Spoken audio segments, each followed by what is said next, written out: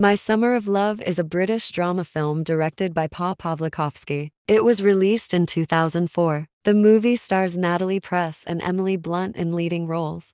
The story revolves around the relationship between two young women, Mona and Tamsin, who come from different backgrounds and form a deep connection during a hot summer in Yorkshire. The film explores themes of love, friendship, and social class. It received critical acclaim for its performances and direction.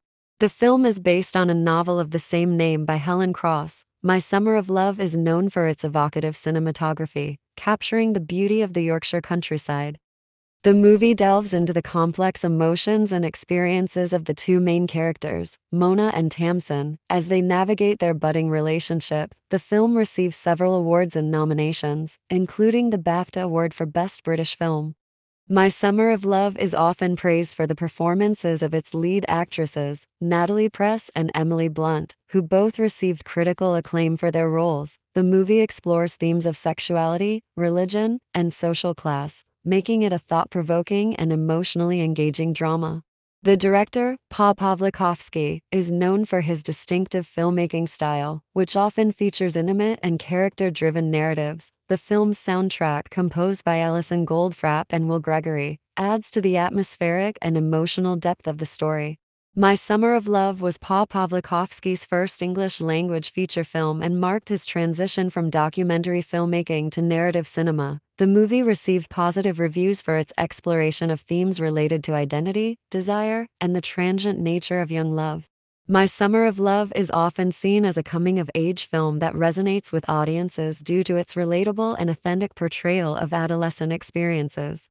The film's title, My Summer of Love, alludes to the transformative nature of the summer in which the story unfolds, where the characters discover more about themselves and each other.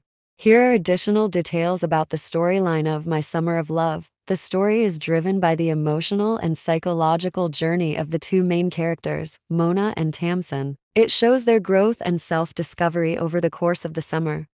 Mona's struggle with her brother's newfound religious zeal and the limitations it places on her life adds an element of conflict and tension to the narrative.